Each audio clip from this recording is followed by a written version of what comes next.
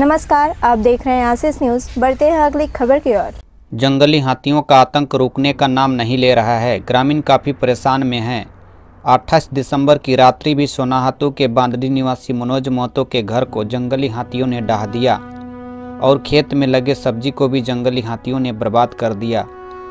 जंगली हाथियों की परेशानियों से ग्रामीण जूझते आ रहे हैं, लेकिन किसी भी तरीके से जंगली हाथियों से ग्रामीणों को मुक्ति नहीं मिल पा रहा है। यह सिलसिला कई वर्षों से चलती आ रही है। सरकार की तरफ़ से भी किसी प्रकार का कोई पहल नहीं हो पा रहा है। भयंकरात स्थिति में ग्रामीण जीवन यापन करते आ रहे हैं।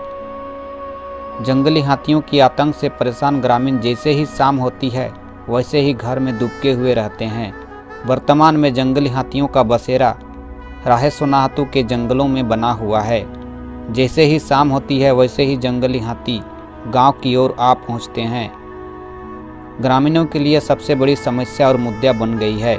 आखिरकार जंगली हाथियों से कब मुक्ति मिलेगी? ग्रामीण इंतज़ार भी कर रहे हैं।